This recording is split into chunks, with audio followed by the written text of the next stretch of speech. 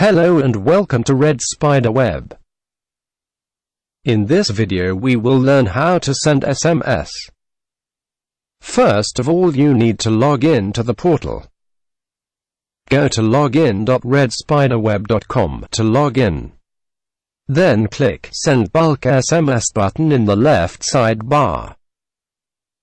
Now click Quick Send Now button. Put all of your numbers one by another.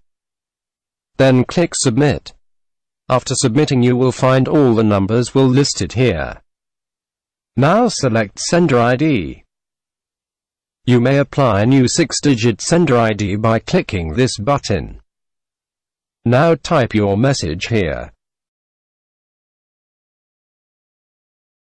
If you want to send SMS now select this or you may schedule SMS for future time. Also by clicking Allow Unicode checkbox you may send SMS in regional language. Now click Send SMS Now button. Your SMS will send immediately. Now you may check delivery report by clicking Send SMS button.